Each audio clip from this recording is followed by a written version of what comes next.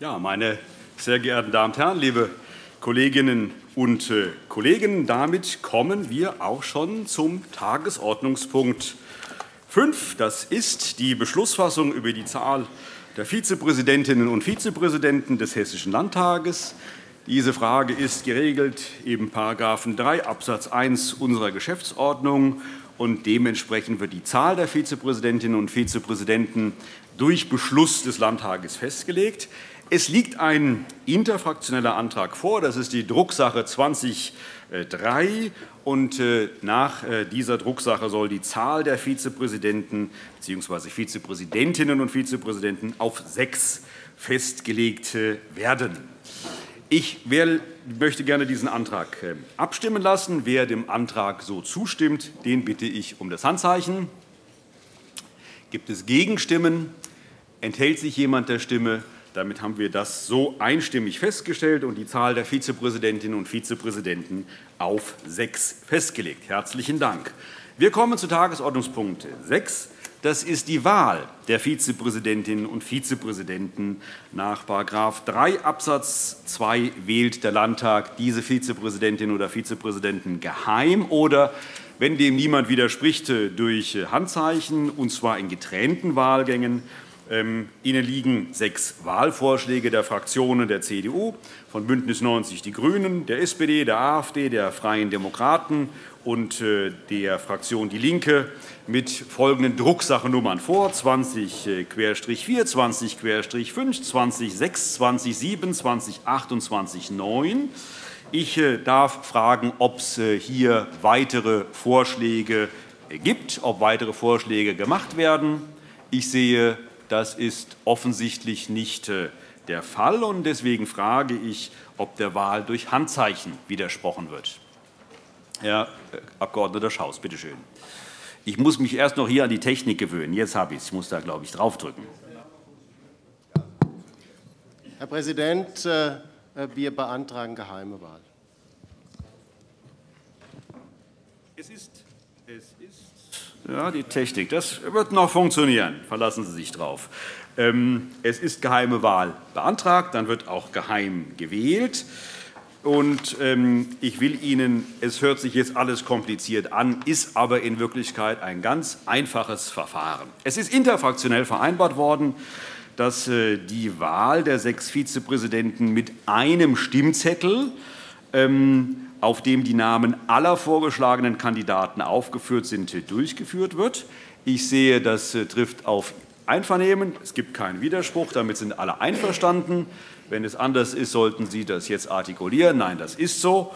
Ähm, mir liegen, wie bereits erwähnt, äh, die Vorschläge der Fraktionen vor. Von der Fraktion der CDU wird äh, Frank Lorz vorgeschlagen, von der Fraktion Bündnis 90 Die Grünen Karin Müller Kassel, von der Fraktion der SPD die Abgeordnete Heike Hofmann-Weiterstadt, von der Fraktion der AfD wird Bernd Erich Vohl, von der Fraktion der Freien Demokraten Dr. Jörg-Uwe Hahn und von der Fraktion DIE LINKE wird Herr Dr. Ulrich Wilken vorgeschlagen.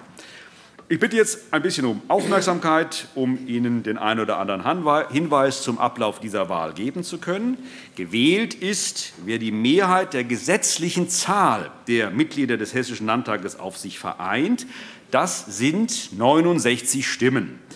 Ähm, jetzt bitte ich die Wahlhelferinnen und Wahlhelfer, das sind die Abgeordnete Astrid Wallmann von der CDU, der Abgeordnete Tobias Eckert von der SPD, die Abgeordnete Nina Eisenhardt von Bündnis 90 Die Grünen, Herrn Abgeordneten Walter Wissenbach, AfD, Frau Abgeordnete Marion Schardt-Sauer von den Freien Demokraten und Frau Abgeordnete Elisabeth Kula von der Fraktion DIE LINKE. Zunächst einmal zum Ausgabetisch, der rechts von mir steht.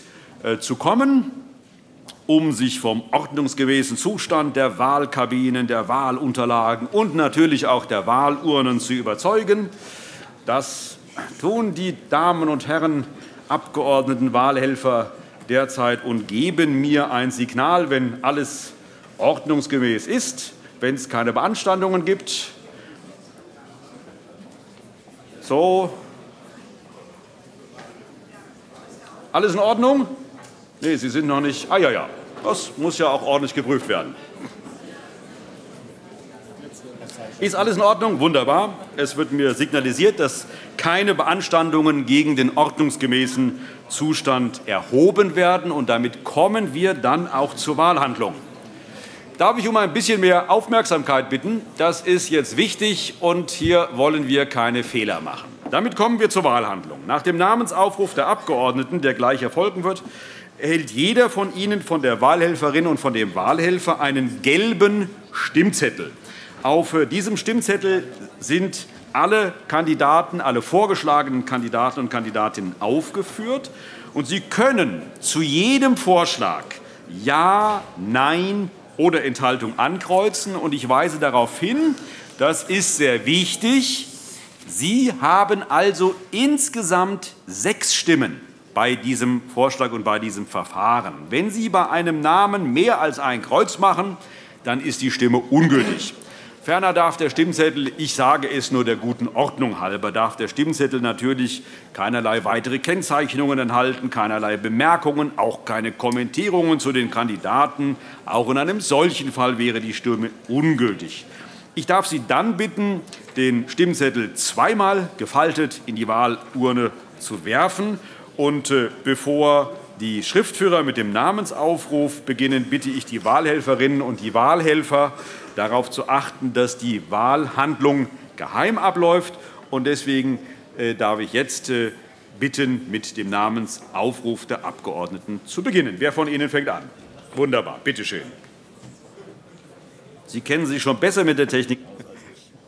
Ulrike Alex, Tarek Al-Wazir, Katrin Anders, Lena Arnold, Sabine Bächle-Scholz, Dirk Bamberger, Jürgen Banzer, Dr. Ralf Norbert Bartelt, Elke Barth, Alexander Bauer, Frank Thilo Becher, Holger Bellino, Peter Beuth, Markus Bocklet.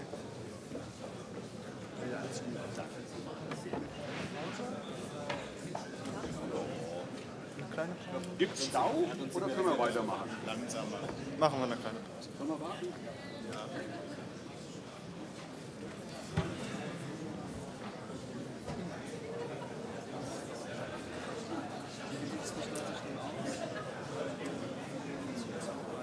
Gehen dann irgendwann. Alles klar, okay, okay, alles klar.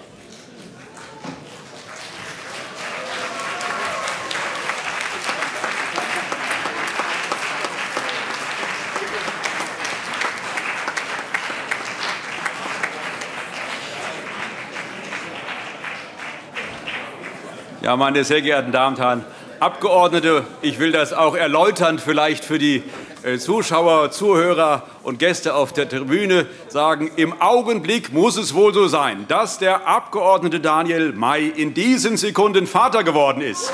Das ist ein besonderes Ereignis.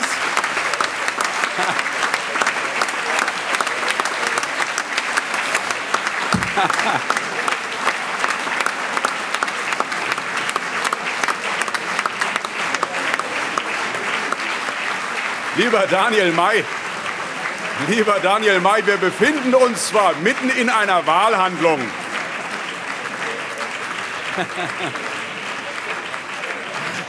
Lieber Daniel May, meine lieben Kolleginnen und Kollegen, wir befinden uns zwar mitten in einer Wahlhandlung, aber ich glaube, es gibt Momente des Lebens, die einfach noch wichtiger sind als Wahlhandlungen. Deswegen einen herzlichen Glückwunsch von uns allen. Wir hoffen, die Mutter und das Kind sind wohlauf.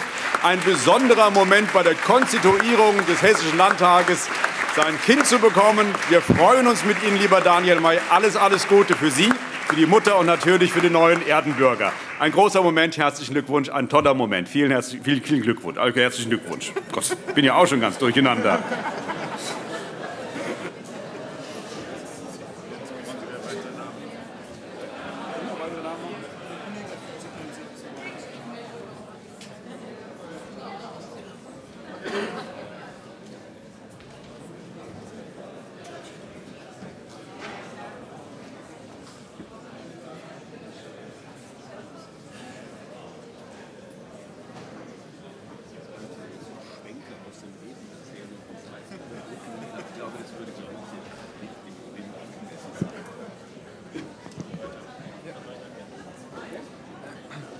Weiter geht's mit Michael Boddenberg, Christiane Böhm, Karl Bolldorf, Volker Bouffier, Silvia Brünnel, Dr. Matthias Büger, Thailand Burcu, Ines Klaus, Miriam Dahlke, Wolfgang Decker, Christoph Degen, Frank Diefenbach, Angela Dorn, Tobias Eckert,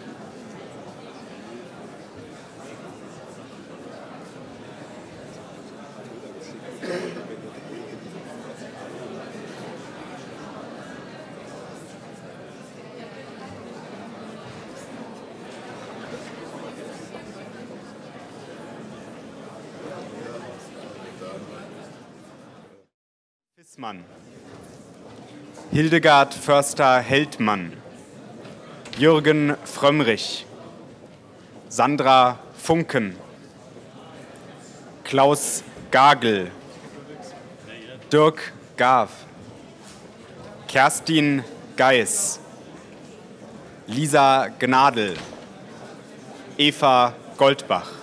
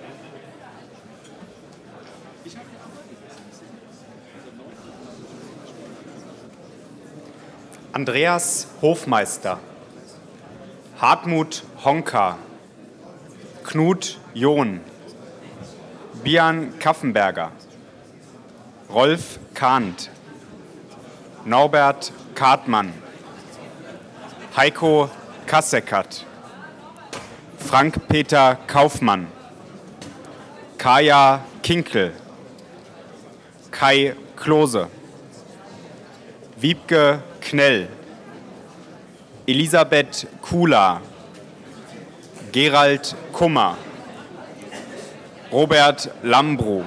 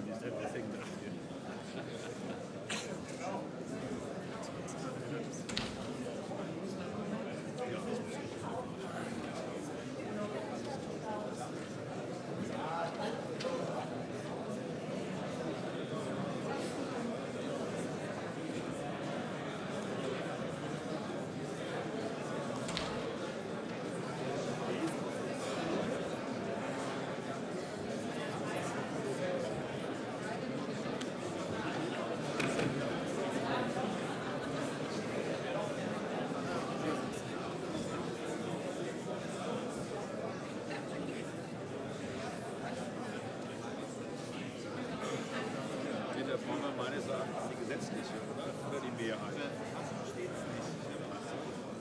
Was ist denn das für ein Top? Ich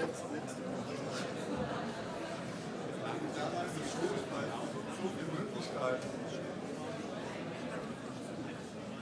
Ja, Herr Präsident.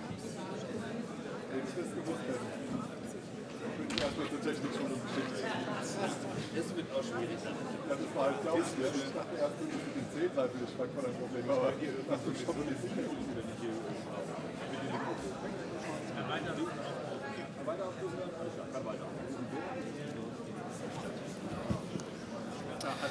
Weiter geht's mit Jürgen Lenders. Thorsten Leveringhaus, Andreas Lichert, Angelika Löber, Frank Lorz, Professor Dr. Alexander Lorz, Heinz Lotz, Daniel May, Markus Meissner, Hans-Jürgen Müller, Jörg Michael Müller, Karin Müller, Regine Müller.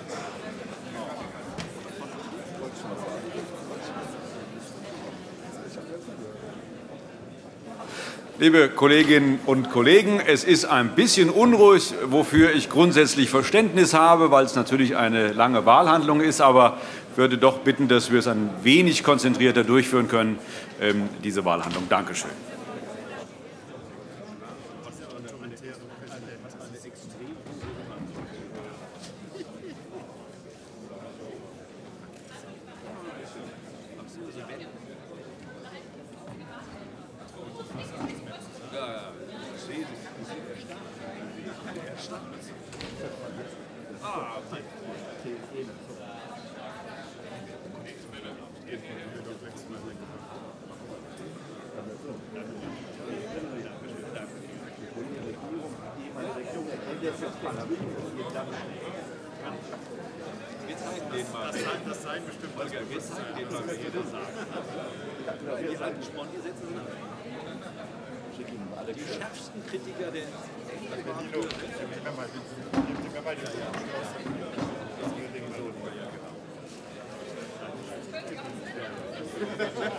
Das beruhigt mich ein bisschen. Ja, mal gucken, ne? mal gucken. Ihn ja eigentlich schon ähm, dem Daniel May geben. Wenn er wollte ja wahrscheinlich sauer gewesen. Ich geflogen sollte die Zeugen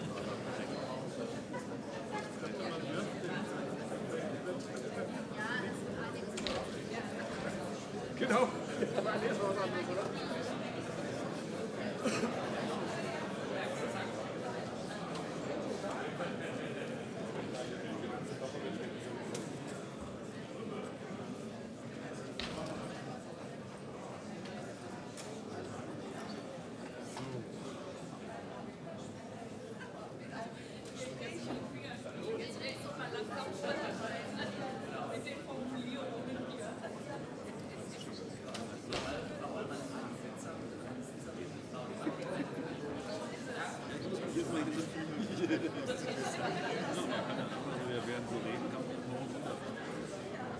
Direkt aber ganz unruhig wahrscheinlich, weil das wahrscheinlich auch, weiß ich auch nicht, wie lange das funktioniert.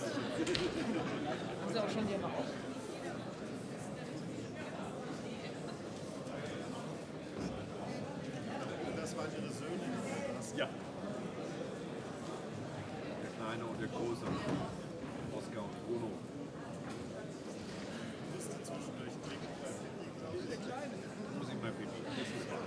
Muss eben, ich glaube, das ist irgendwie eine Macke.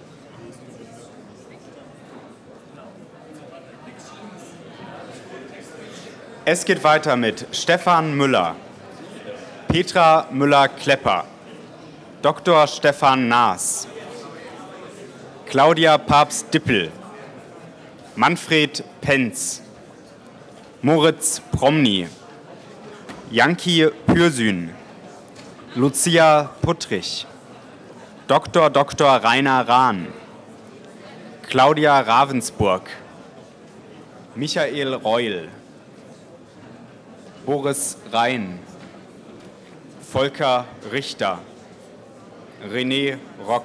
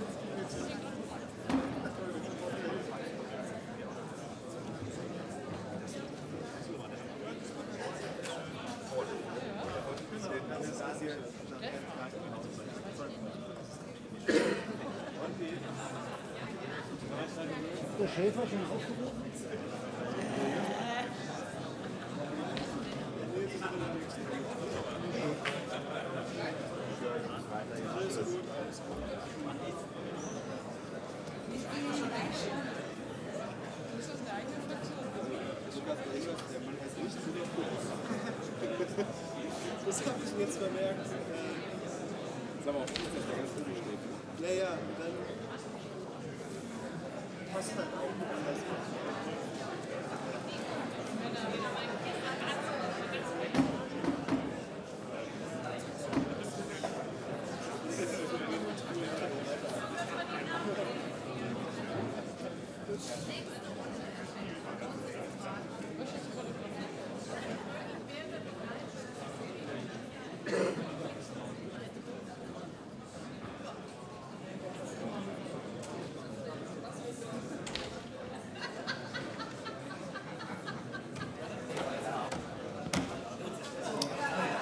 Weiter geht es mit Günter Rudolph, Michael Ruhl, Max Schad, Dr. Thomas Schäfer, Thorsten Schäfer-Gümbel, Jan Schalauske, Marion Schad-Sauer, Hermann Schaus, Gerhard Schenk, Heidemarie Scheuch-Paschkewitz, Katrin Schleenbecker, Mirjam Schmidt, Heiko Scholz.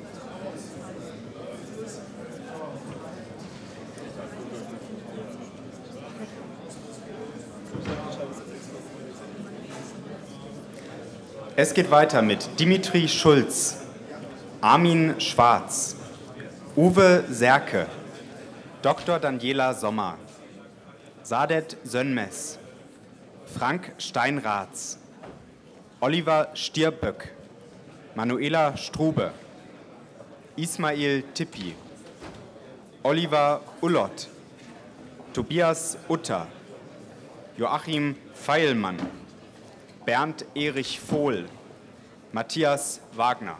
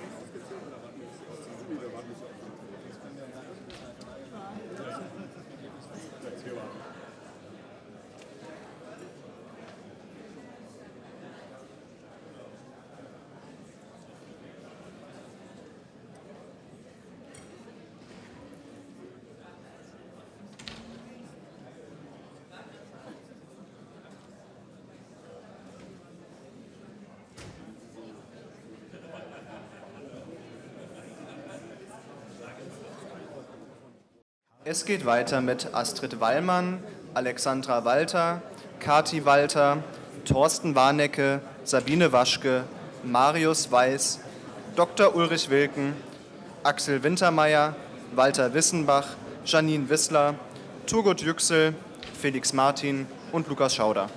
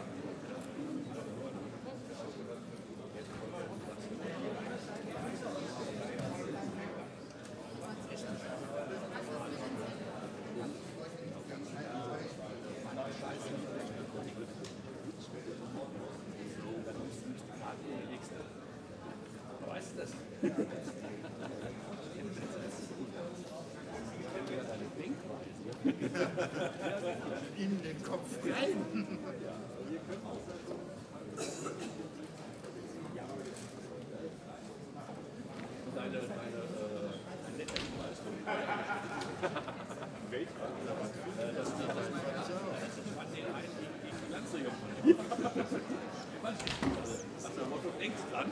Ja, genau. Längst dran, dran. Hat auch der Präsident nicht so richtig glücklich geguckt.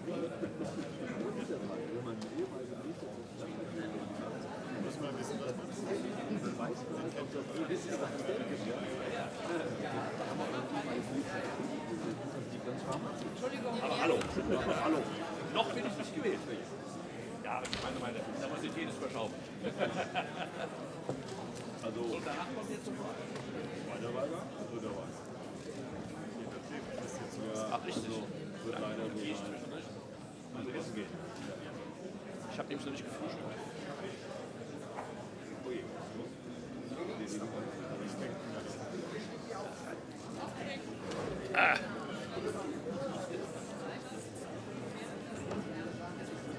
Das ist hier die wichtigste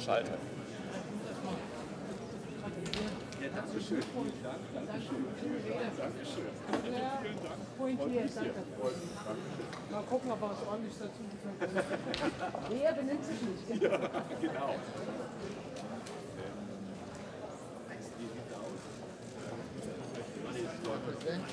Dankeschön, vielen Dank.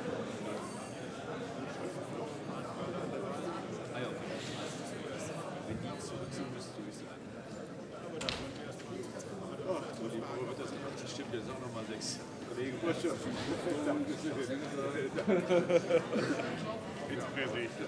Dankeschön.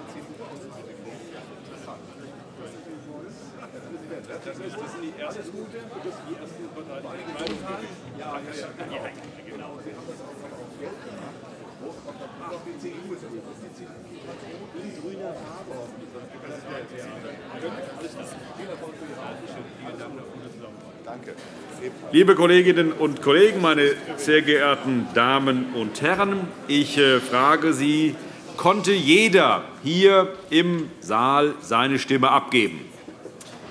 Hat jeder seinen Stimmzettel abgeben können? Das ist offensichtlich der, der Fall. Dann schließe ich die Wahlhandlung und bitte die Wahlhelferinnen und Wahlhelfer, mit der Auszählung der Stimmen zu beginnen.